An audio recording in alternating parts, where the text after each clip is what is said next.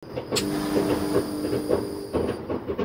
这边是主开关，我们打开主开关啊，用可调电源、可调线，大小零到五十，零到五十，零到三十都可以调的啊。看，我现在是逐渐逐渐的加大，看一下我们的火，这是我们最大的一个火火量，大家可以看一下啊。再把我们的电源关掉，啊，前后对比一下啊。